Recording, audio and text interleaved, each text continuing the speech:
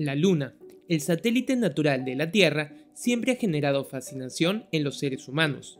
No solo ha sido objeto de incontables mitos de diferentes culturas alrededor del mundo, sino que incluso llegar a ella fue uno de los logros científicos más importantes del siglo pasado.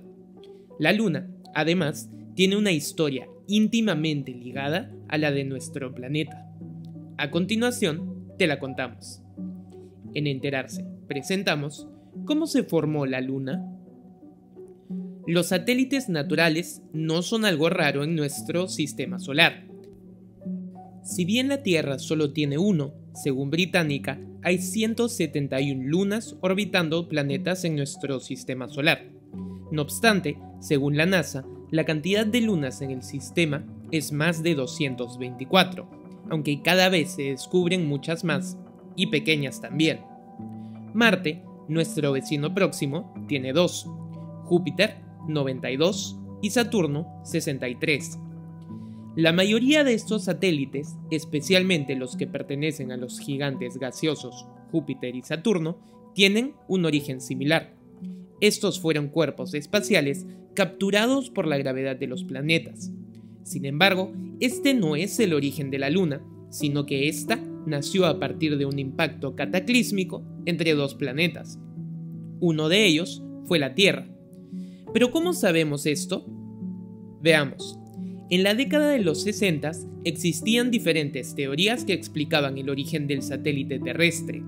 A partir de la teoría de un impacto entre la Tierra y otro objeto espacial, en esta época existían también otras tres teorías que explicaban su formación. La teoría de la captura, la de la fisión y la de la condensación. La primera afirmaba que nuestro satélite era un cuerpo espacial que había sido capturado por nuestro planeta, lo más usual en el sistema solar.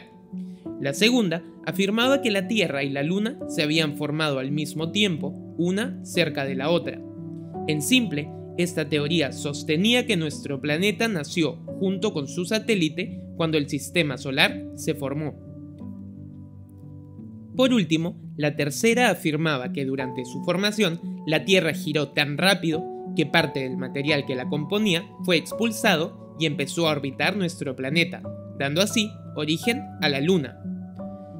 Sin embargo, después de que la misión Apolo trajera muestras de rocas lunares, la única teoría que fue respaldada por la evidencia fue la de un gran choque entre nuestro planeta y otro. A este otro planeta, algunos científicos lo llaman Teia. ¿Qué dice esta teoría?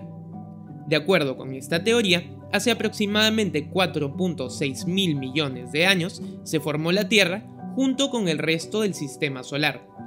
Sin embargo, la prototierra sufrió un devastador impacto con Teia, planeta de aproximadamente el tamaño de Marte.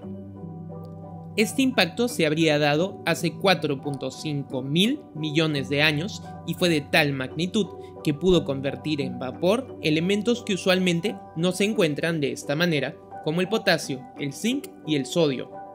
Tras esta colisión, casi toda la prototierra y Teia se fundieron y se reformaron en un solo cuerpo, que es el que habitamos hoy en día.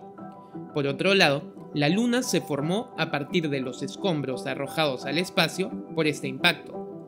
Pero ¿cómo sabemos que esto ocurrió realmente? En realidad, no lo sabemos con certeza.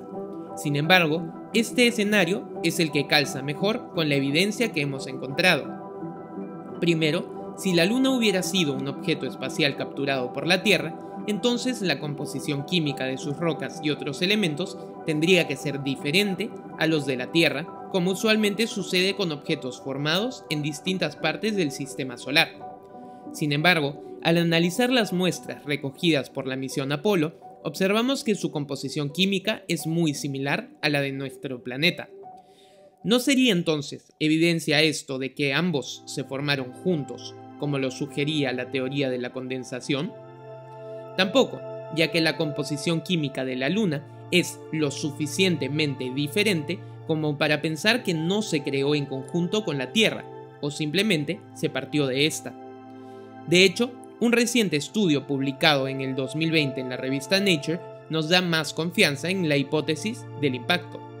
Este estudio encontró que si comparamos las moléculas del interior de la Luna y las de su corteza con las de la Tierra, encontramos que aquellas del interior de la Luna son químicamente más distintas a las de la Tierra que aquellas que se encuentran en su corteza.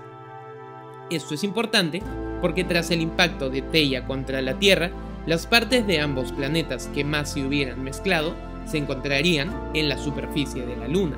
En simple, esto significa que el interior de la Luna parece provenir de otra parte del sistema solar. Así, esto nos brinda más razones para pensar que efectivamente hubo un impacto entre la Tierra y un cuerpo externo a esta.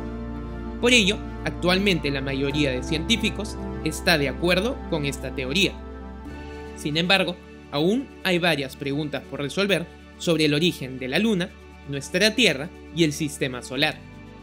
Si te gustó este video, no te olvides de suscribirte a nuestro canal de YouTube y ayúdanos compartiendo nuestro contenido.